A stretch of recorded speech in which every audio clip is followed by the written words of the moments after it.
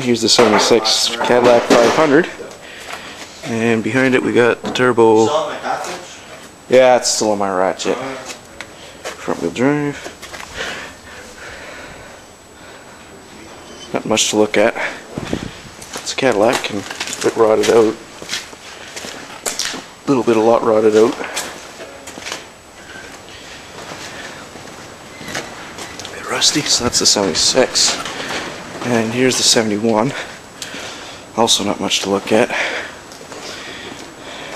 Rusted out.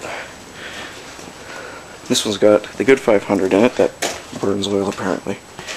So we're gonna take this thing to my our house and my place and see if we can get it going and maybe have some fun with those front tires. Or different front tires. Yeah, Eldorado. Eldorado.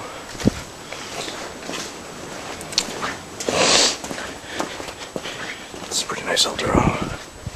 Here's a Seville. Coupe de Ville. Here's a 47 Cadillac Fleetwood. Oldsmobile. Here's a 1960 Eldorado. Look at that. Grill on the back. There are less than 1,500 of these made. He's got three of them. That is sick. Get some pictures.